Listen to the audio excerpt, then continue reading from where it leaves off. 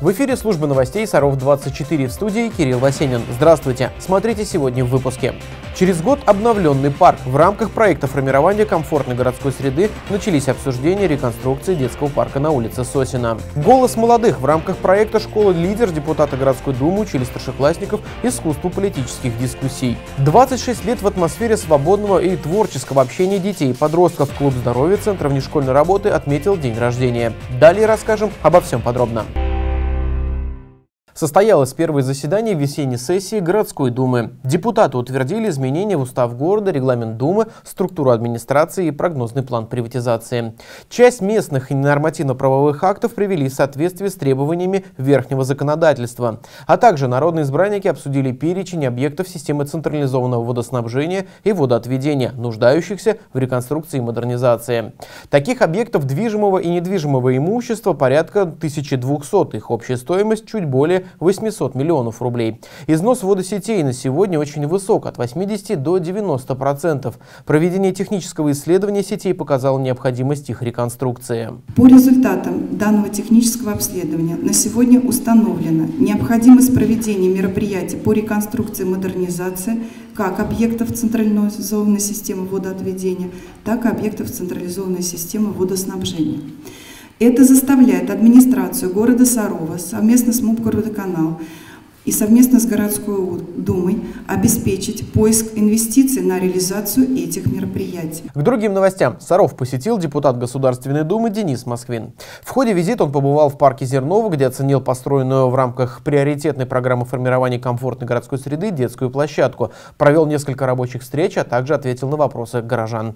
Желающих пообщаться с народным избранником было немало. Зал заседания администрации был полон. Вопросы, которые задавали саровчане, касались как федерального, так и регионального законодательства, а также текущих бытовых проблем. Как отметил Денис Павлович, большая часть местных вопросов могла быть снята, если бы власти города регулярно проводили открытые встречи с жителями. Многие вещи, которые я сегодня услышал, э, ну, требуют серьезного осмысления и проработки на уровне регионального правительства и, в первую очередь, на самом деле, администрации э, Сарова. Не все благополучно, и, конечно, мы сейчас совместно с коллегами, э, ну, буквально завтрашнего дня, всеми теми вопросами, которые которые сегодня были подняты, я займусь. И я очень благодарен, на самом деле, сегодняшнюю встречу. Она, и абсолютно уверен, и полезная, и, э, и станет плодотворной.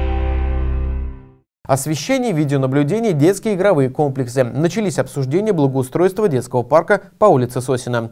По итогам опроса горожан о приоритетном проекте благоустройства в рамках программы формирования комфортной городской среды парк занял третье место, а значит проект должен быть реализован уже в следующем году. Чтобы узнать мнение саровчан о том, каким они видят парк, специалисты Департамента архитектуры и градостроительства провели для них экскурсию по парку. Будущее городского парка на улице Сосина активно обсуждается не только в кабинетах и коридорах городской администрации. Предварительные проекты, вынесенные на общественные слушания по этому вопросу, местных жителей не удовлетворили. Слово «реконструкция» вызывает в них резкое отторжение. Реконструкция, она, так я поняла, подразумевает изменения, глобальные изменения, вырубки и что-то там строительство. Здесь нужно преобразование и помощь парку. Местные жители предлагают лишь поменять наружное освещение на современное, сделать так, чтобы в темное время суток была освещена вся территория парка, а не только центральные дорожки, а еще установить антивандальные лавочки. Привести парк к тому самому виду, который задумывался архитекторами в середине 20 века, когда город только строился. Одна, значит, их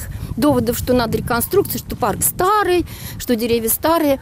Я звонила экологам в Нижний в Москву. Они сказали, у вас такая мощная симбиоз-система, она экологически уже уравновешенная. Как показала встреча местных активистов с администрацией парка, цели у них схожие. Действительно, старые цветовые опоры необходимо заменить на новые, улучшить качество покрытия аллеи тропинок, установить детские площадки, чтобы парк начал оправдывать свое название. В процессе диалога нашлось место и для обсуждения своевременной уборки территории. Валежник вы должны были убирать, лесники должны быть следить.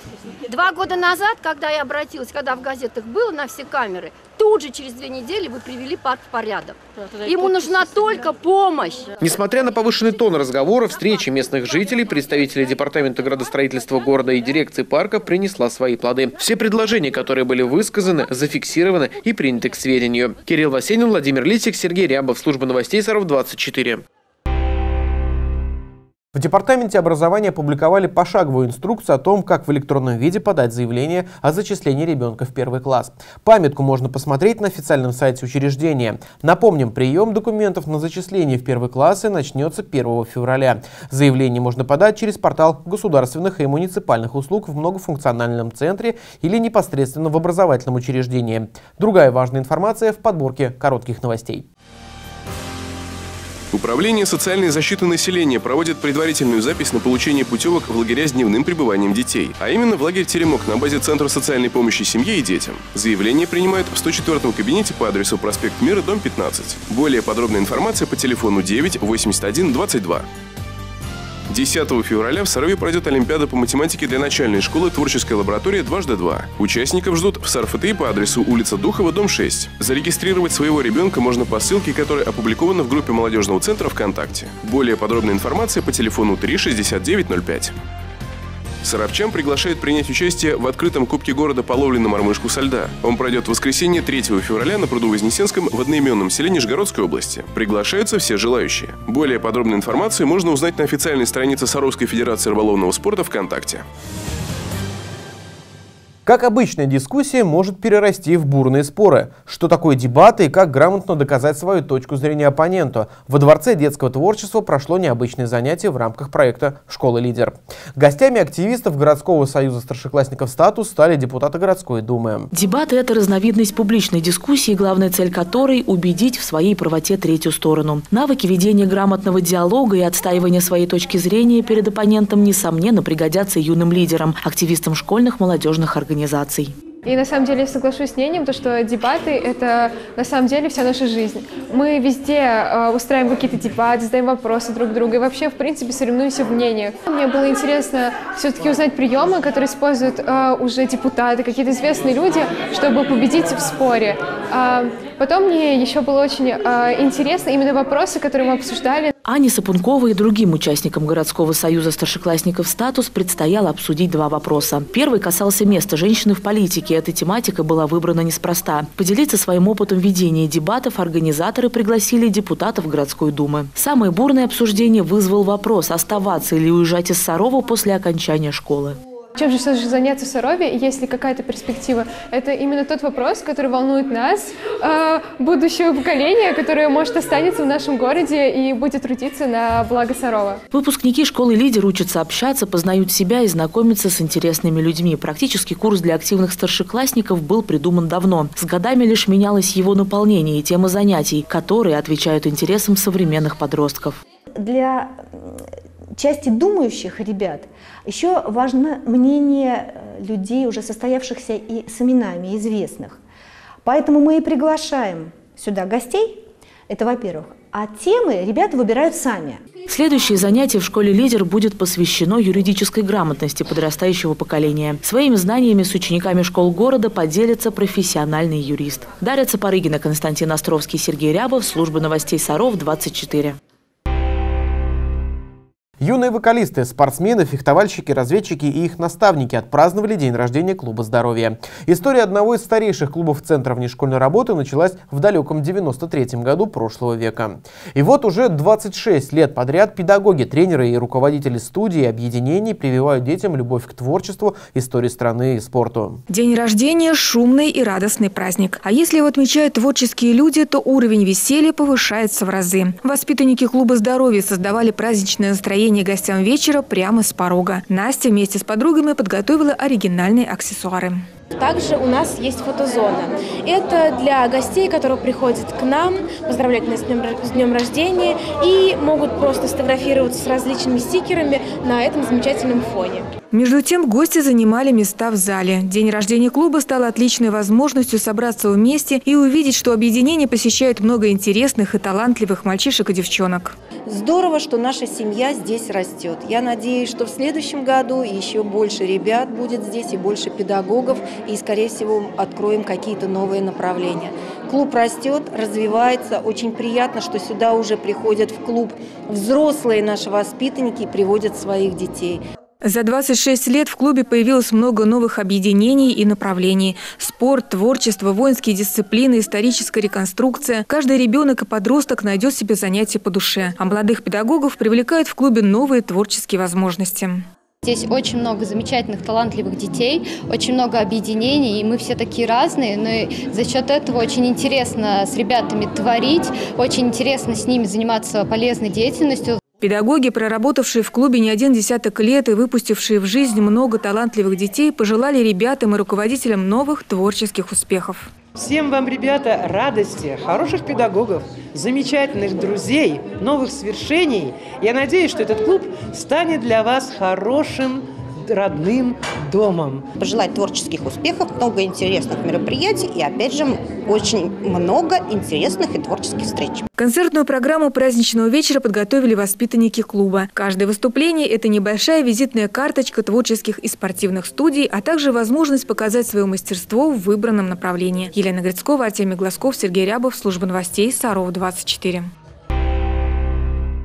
Быстрее, выше, точнее. Воспитанники станции юных техников приняли участие в областном конкурсе по начальному техническому моделированию «Юниор» в Нижнем Новгороде. Он проводился среди старших дошкольников и учеников начальных школ из разных уголков региона. Саровчане представили модели планера, автомобиля и парусного судна. Семилетний Кирилл Козлов занимается на станции юных техников только несколько месяцев и уже одержал серьезную победу. На областных соревнованиях мальчик занял первое место, дальше всех прокатив модель автомобиля. Мне надо было было поставить машинку на белую линию и пустить ее. Это было сложно. Волновался чуть-чуть, но справился. Вместе с Кириллом на соревнования ездил еще один юный техник – Арсений Деляев. Он запускал модель парусного судна. В этих испытаниях высчитывали наименьшую сумму времени прохождения акватории. В результате Арсению присудили второе место. Надо было поставить кораблик, чуть-чуть прижимая к бортику, и не резко отпустить его, чтобы он поплыл ровно. На соревнования приехали начинающие техники из Нижнего Новгорода, Арзамаса, Дзержинска и других городов. Конкуренция была достаточно серьезной и заставила ребят понервничать. Однако они сумели собраться и правильно запустить модели. Есть э, некоторые нюансы. Если неправильно поставишь автомобиль, да, неровно, то он может уехать как бы э, не в том направлении и будет не тот прокат. Самой сложной номинации «Запуск планеров» выступал Данила Якуничкин. Он получил диплом финалиста. Екатерина Опенова, Артемий Глазков, Владимир Лисик, Служба новостей Саров, 24. Самолет оживает в полете. Во Дворце детского творчества прошел муниципальный этап конкурса юных авиамоделистов «Лети модель». Воспитанники продемонстрировали свое мастерство в запуске планеров и расчете траектории полета. В борьбе за победу конкурсантам понадобились знания аэродинамических свойств модели, технические характеристики и спортивные навыки. Подробности в следующем репортаже. Запустить самолет так, чтобы он пролетел как можно дальше и набрал максимальное количество очков. Такую цель ставили перед собой участники городского этапа конкурса «Лети модель» модель. У каждого в руках уникальная модель, созданная своими руками по определенным требованиям. У нас есть технические требования, по которым, э, которые мы придерживаем. И по ним делаем модели. Тут требование такое, что модель не должна превышать там, э, веса 15 грамм. Э, размах крыльев не должен быть больше 250 миллиметров.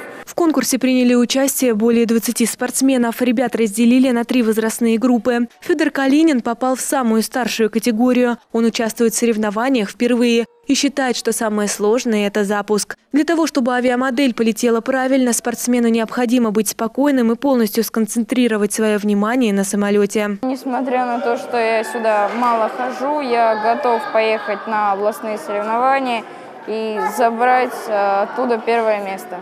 Вера Хохлова в прошлом году смогла пройти отбор на региональный этап конкурса авиамоделистов в Шатках, но занять на нем призовое место ей не удалось. Проведя работу над ошибками, Вера поняла, что нужно сделать, чтобы стать первой на чемпионате.